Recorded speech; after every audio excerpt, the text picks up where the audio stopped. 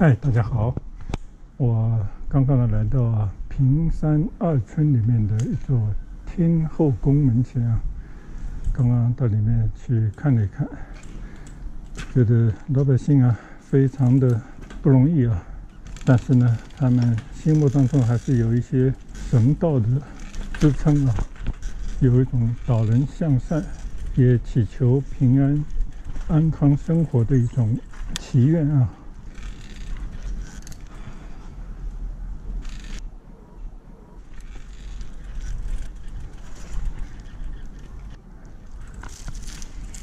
就在天后宫的边上呢，还有一座郭氏大宗祠。我们在前面呢见到两座简氏大宗祠，还有一座黄氏大宗祠。这是看到的第四座的大祠堂。这老百姓呢，还是记得祖宗的恩泽啊，不忘先人，感恩前辈啊，这是中华民族的传统美德。所以，虽然大家都想要过自己的好日子啊，都想把自己的原来比较低矮的房子呢，稍微的翻新、建高一点啊，增加一些居住面积，虽然造成了一些村庄啊原来风貌的破坏啊，但是呢，在窄小的居住空间之中呢，还是保留着先祖的祠堂、牌位，还有那些他们。祈求保佑的神灵啊，像天后，还有很多庙宇呢，继续存在。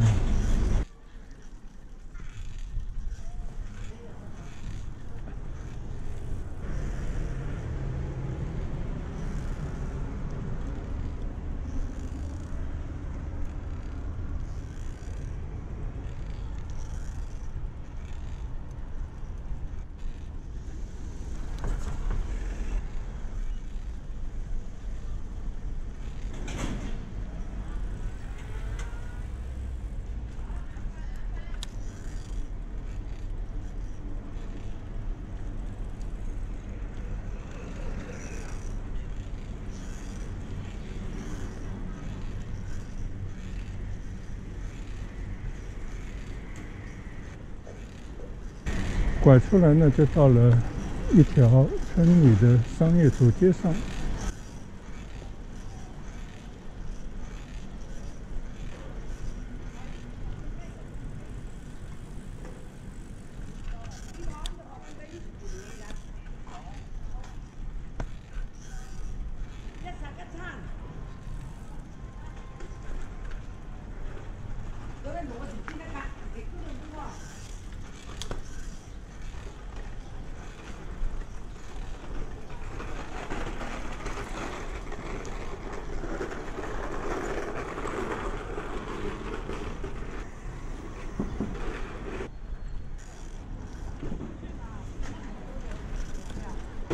我突然想起啊，大概一年多以前，我刚开始骑行没多久的时候呢，就曾经来到这个平山二村的党群中心那边来问过，说这边有没有一些保留下来的古祠堂。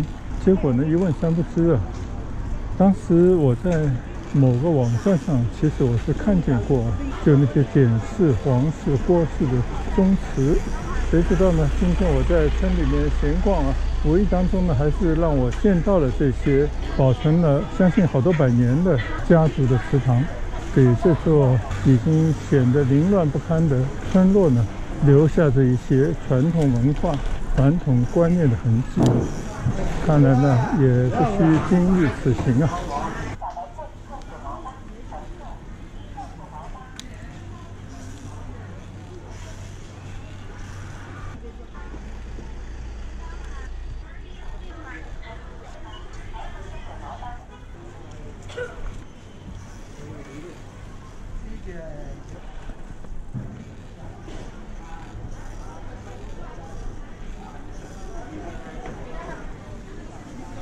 现在呢，我就在村里的一条传统小商业街啊，这边呢就是大家种的一些瓜果蔬菜啊，拿到街上来摆卖啊。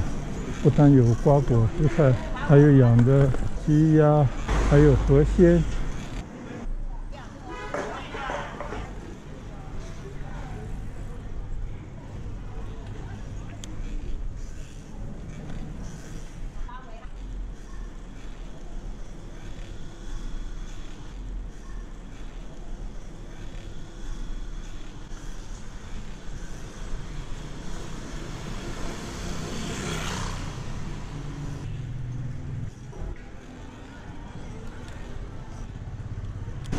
我已经不记得这条路啊可以通向何方了，但是我记得这条路我曾经骑行过，而且当年啊，因为见到这条街上的一个单车铺啊，还专门的请教过我的单车保养维修的问题啊，结果后来呢就发现普通的单车铺呢他们是没有这种能力啊。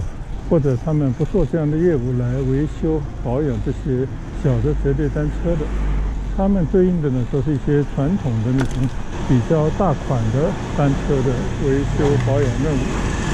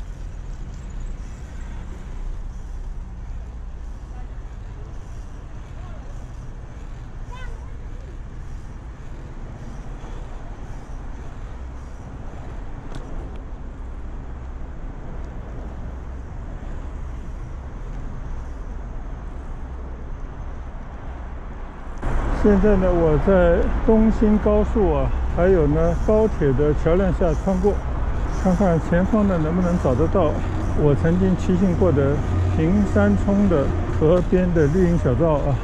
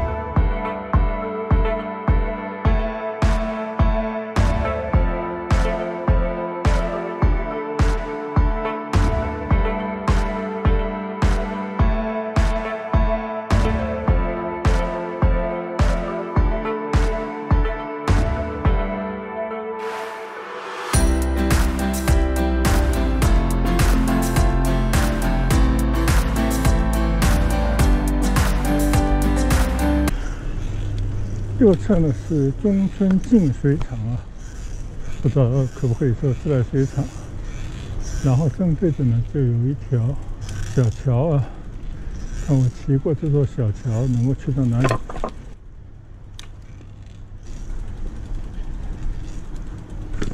看似呢这边也是一个水闸吧。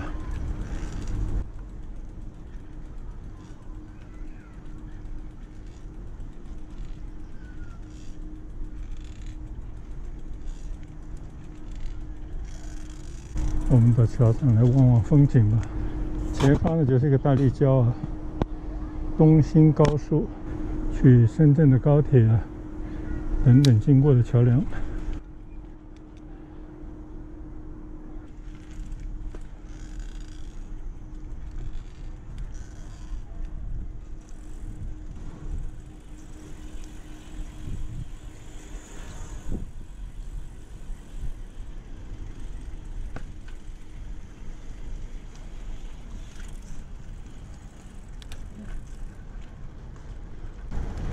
果然啊，这个叫平山水闸，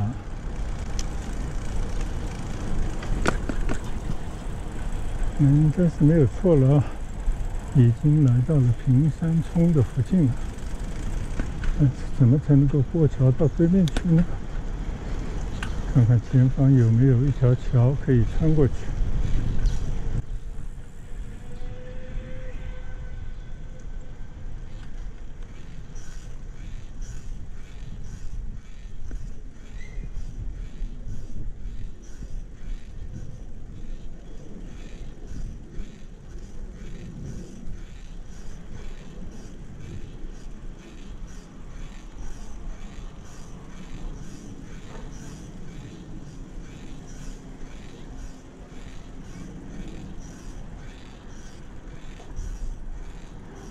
好像呢，前面也有一座小桥，可以去到对面啊。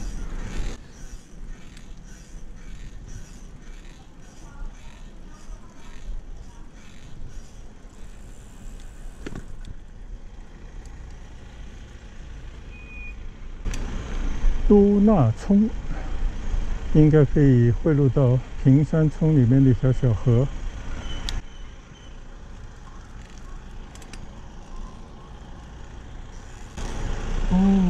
小狗好像好看。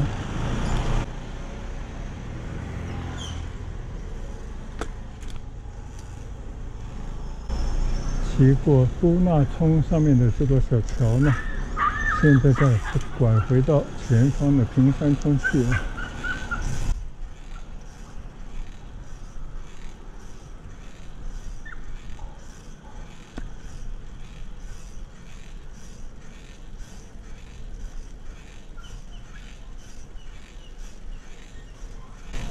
广州城郊的很多乡村地带啊，应该说正在社区化过程当中的一些农村地带呢，就像我看见的这样的模样啊。除非有更大力度的商业开发，否则的话呢，我相信这样的光景会保持很长的时间。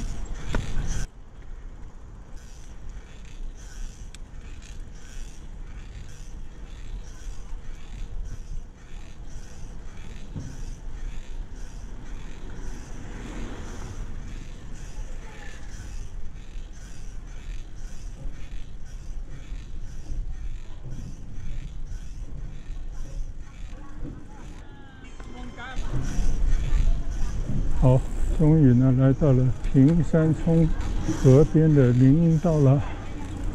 哦，这边好多人在这边休闲，这一片绿荫太棒了。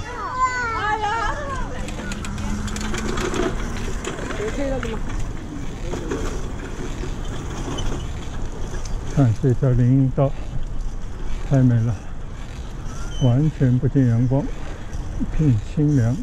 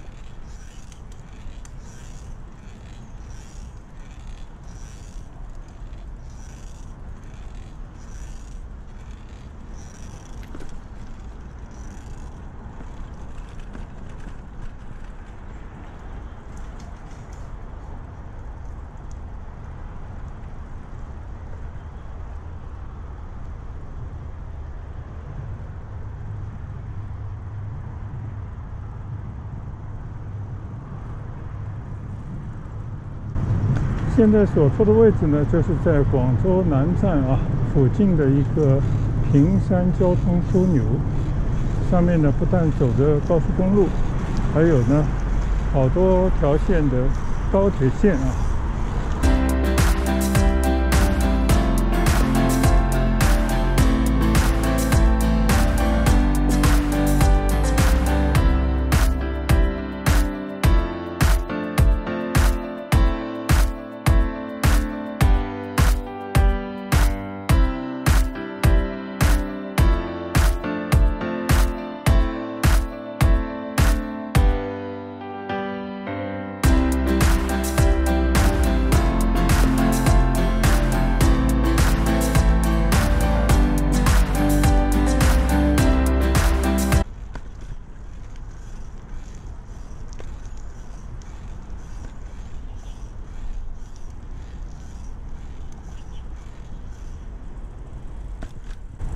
刚刚呢在平二村，现在呢已经到了平一村了。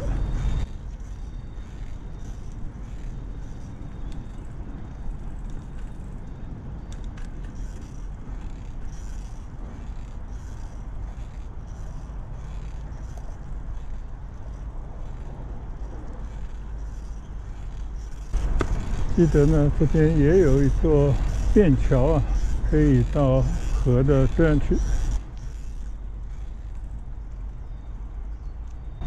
这边呢，这条小冲叫幸福冲，可能又是平山冲的侧枝吧。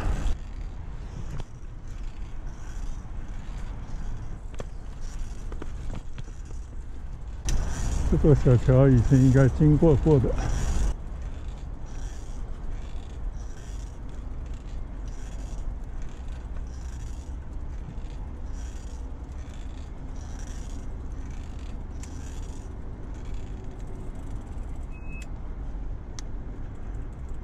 站在桥上，再看看风景。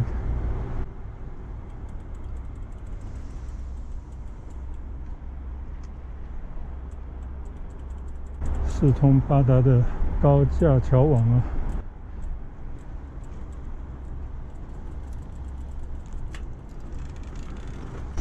就是天气太热，就不做过多的停留了。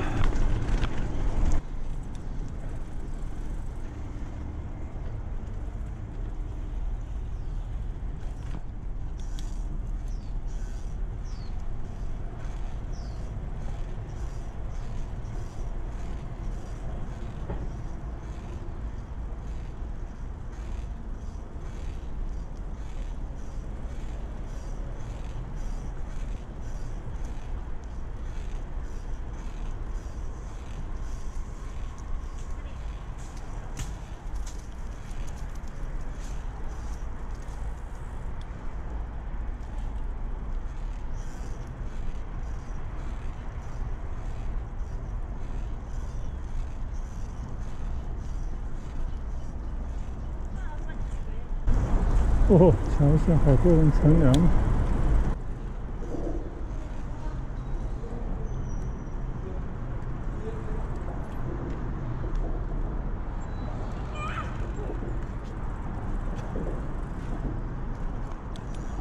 好，我就离开河边啊，从这个高架路的下面骑回祈福新村去。到了这边呢，我大概知道路怎么走了啊，而且这个高架路呢有阴凉。有遮阴的地方啊，为这段骑行呢带来小小的凉意。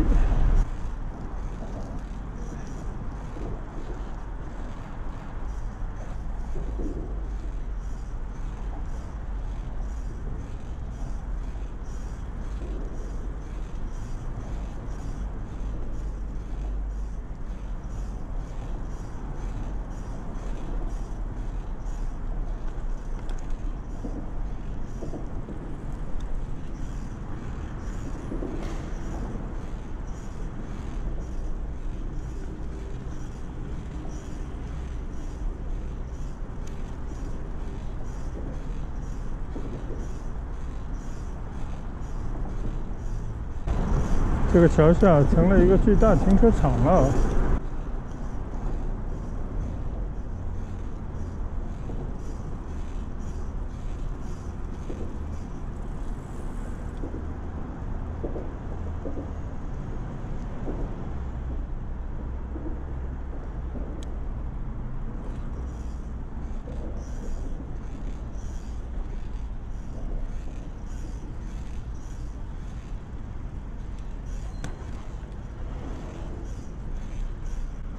农民自己建的商业新天地。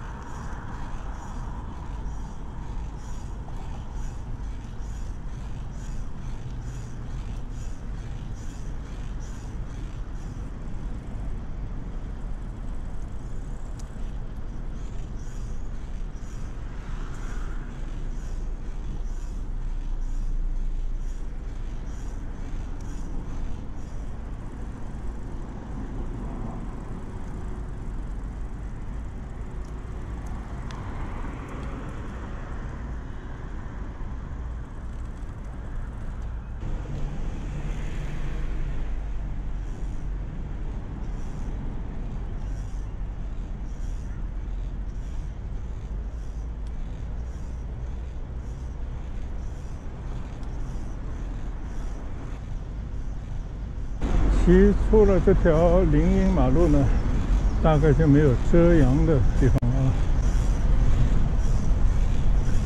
距离启福新村呢，应该还有四五公里吧。好，现在呢就骑行最后一段回程的路啊。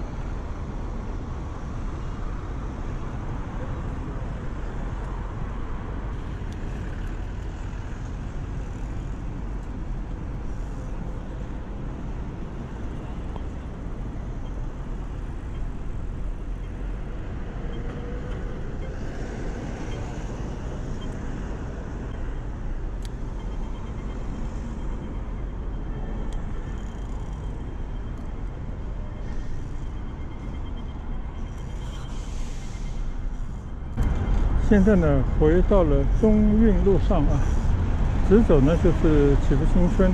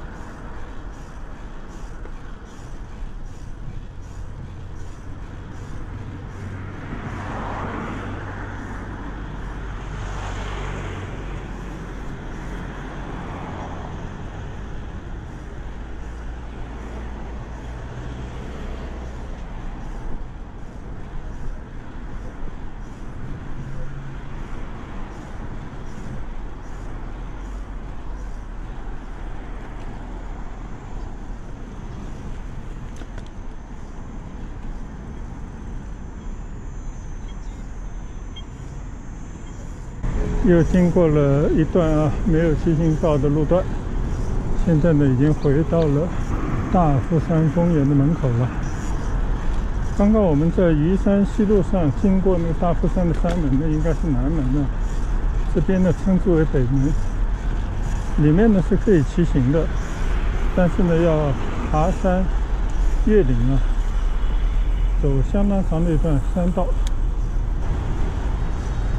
上次挑战过一次，有些路段呢，你没有那种爬山的单车，很难骑得上去啊。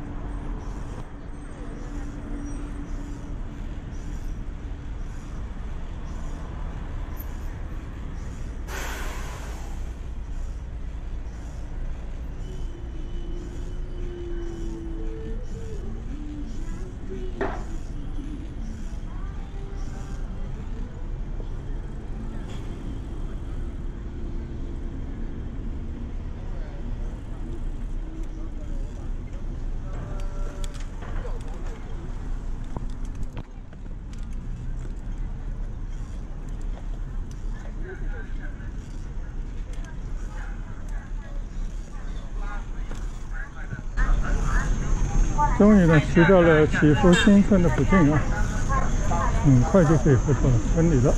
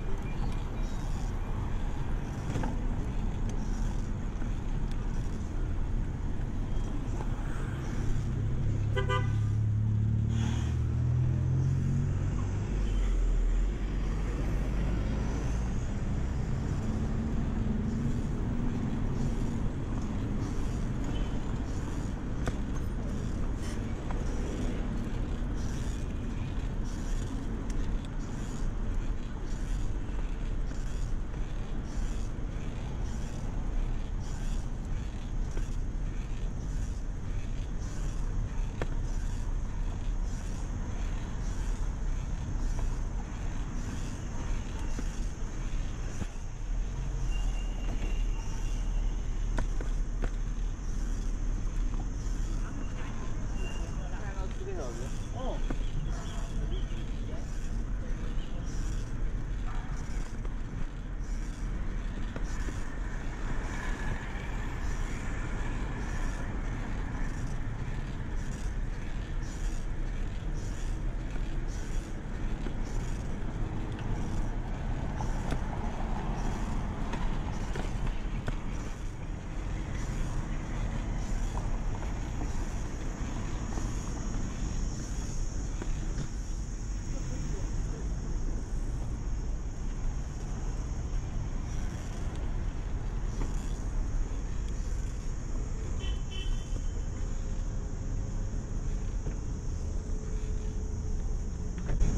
又回到了祈福新村的祈福大道的大门了。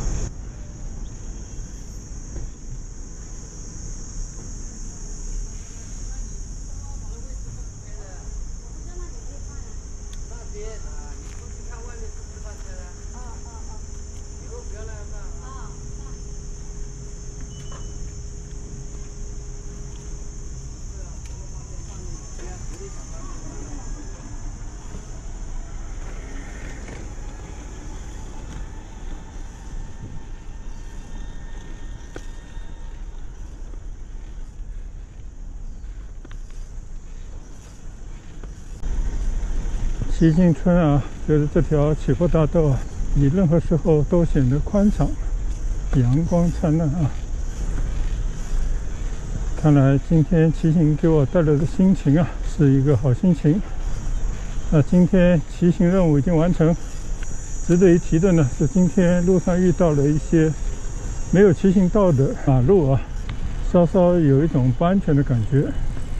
所以你如果是一个骑行爱好者，喜欢在公路上骑行呢，一定要加以注意啊，尽量避免这样的路段，安全第一啊。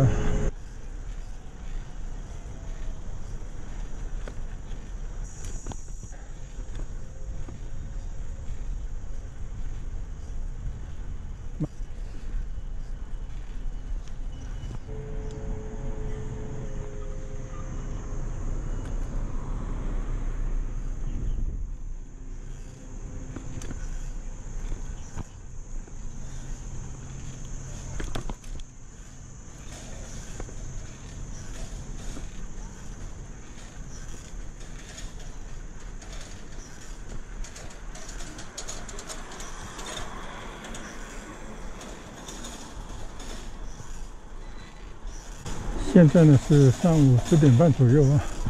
自从我出村骑行，将将经过了两个小时，我相信呢大概有二十五六公里到三十公里的骑行距离啊，非常令人满足的一段骑行。谢谢大家的观赏，再见，拜拜。